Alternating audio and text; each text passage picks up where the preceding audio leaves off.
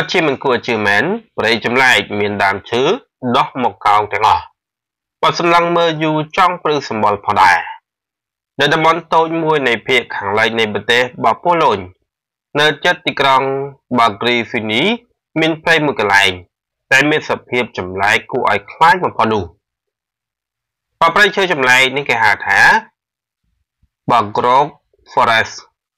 ប្រមូលផ្ដុំដើមឈើស្រស់ស្អាតប្រមាណជាង បាទ400ដើម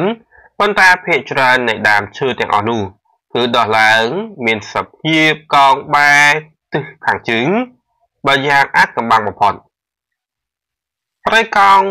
កាងមនុស្សគឺជាព្រៃដែលបាទមានដើមស្រស់បាទដើមស្រស់រៀងចម្លែកនិងបាទមានទីតាំងនៅភូមិ Go Granovo បាទក្បែរក្រុង Grifino បាទខាងលិចនៃបោះ Pomerania និងស្ថិតនៅភាគពាយព្យនៃប្រទេសប៉ូឡូញបើតាមការប៉ាន់ស្មានដើមឈើទាំងអស់នេះគឺត្រូវបានបាគេដាក់ដាំនៅក្នុងឆ្នាំ1930ដោយមានសភាពត្រង់បាទដោយដើមឈើទូទៅផងដែរប៉ុន្តែរយៈពេលប្រមាណជាង7ទៅ10ឆ្នាំក្រោយមកបាទពួកវាក៏បានប្រែប្រួលខ្លួនខ្លួនខ្លួនវា បាទទៅជាមានសភាពកោងដូចគ្នាបាទនេះទៅវិញបើគូបញ្ជាក់ផងដែរថាចំពោះមូលហេតុនៃការអនុញ្ញាតធ្វើឲ្យដើមឈើនេះមានសភាពកោងចម្លែក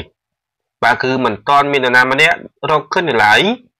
បាទដោយមនុស្សមួយចំនួនជឿជាក់ថាវាគឺជាច្បាប់ធម្មជាតិធ្វើឲ្យវាប្រែប្រួលរូបរាងបែបនេះគណៈមួយចំនួនទៀតអះអាងថា គឺជាបណ្ដាសាកើតឡើងលើតំបន់ព្រៃមួយនេះ បាទនេះជារឿងដែលថាមិនគួរឲ្យជឿបងប្អូនបាទព្រៃឈើមួយបាទមួយនៅតំបន់នេះបាទមួយប្រភេទនៅតំបន់នេះគឺ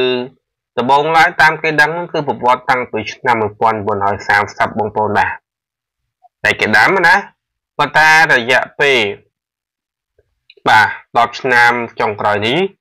គឺដើមឈើនេះបុបដំបងឡាយគឺត្រង់ឥឡូវនេះគឺរយៈពេល10ឆ្នាំចុងក្រោយគឺ បាទគល់វាបែរទៅជិះទៅទិសខាងជើងទាំងអស់កោងរបៀបដូចជាដើមថ្នោតត្រេឬក៏កោងបាទដូចគេពុតចឹងណាបងប្អូនបាទ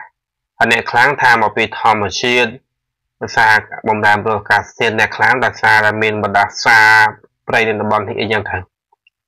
តែនេះជារឿងដែលមិនគួរជឿចំពោះអប្រៃបាទនៅតំបន់នេះបាទហើយចំពោះព័ត៌មាននេះដែរគឺមានតែប៉ុណ្ណេះទេបាទសូមអរគុណសូមជម្រាបលា